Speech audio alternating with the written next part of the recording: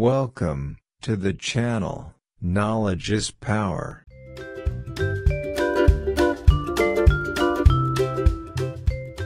Eight tips for being happy in life.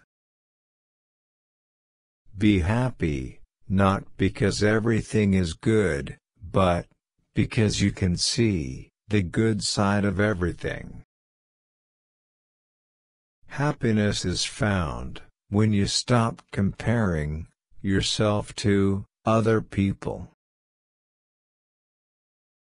Happiness is like jam, you can spread, even a little, without getting some on yourself.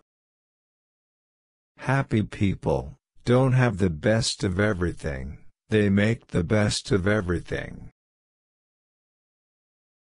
Being happy doesn't mean everything is perfect. It means you have decided to look beyond the imperfections. Never believe you are above or below anyone. Keep a humble spirit. Being happy is the greatest form of success.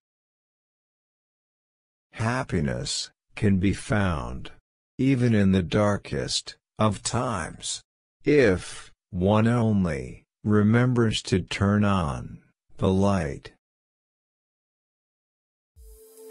Thanks for watching, and kindly visit the channel for such informative videos. Also, don't forget to like share and subscribe to the channel.